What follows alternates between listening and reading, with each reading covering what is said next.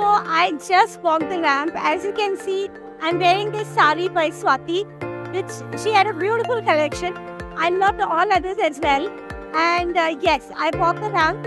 I'm happy. Um, you know, I saw these students who have done such hard work, and it was so heartwarming to see them on the stage.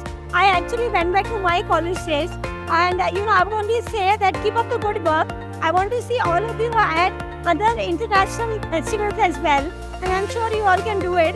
The variety which I saw, right from Western to Indian, and yes, I'm wearing this jewelry, again a very beautiful one, um, which is a mixed uh, tradition and modern.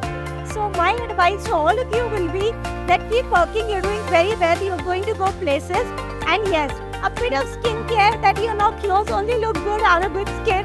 So please start taking care of your skin as well. Uh, because you know, I always say when you leave this world, is the only thing you'll take back with you.